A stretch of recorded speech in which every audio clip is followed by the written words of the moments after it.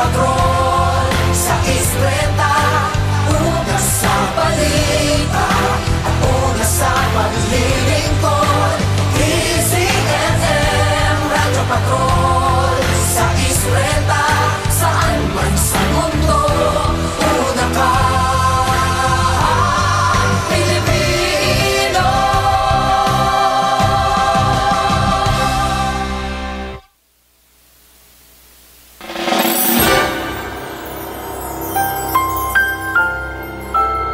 Sa nakalipas na 24 na oras ay sumahimpapawid ang DZMM Radyo Patrol sa Istrenta.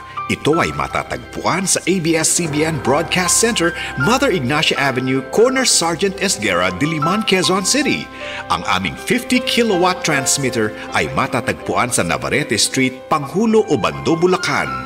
Ito ay nasa ilalim ng pagmamayari at pamamahala ng ABS-CBN Corporation na may permit bilang BSD 0050-2016 REN.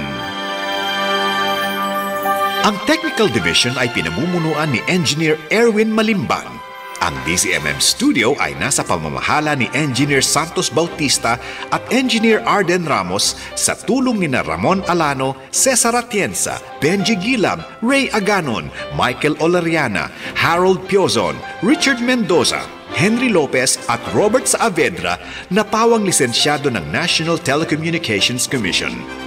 Ang DZMM transmitter ay pinamumunuan ni na Engineer Bernardo Acosta, PECE number 864, Engineer Jose Rizalde Umipig, PECE number 794, at Engineer Melvin Acosta, PECE number 407, sa tulong ni na Michael De La Cruz, Ronald Parumog, Noli Reforma, Ferjun Mina at Jonathan Baldo na pawang lisensyado ng National Telecommunications Commission.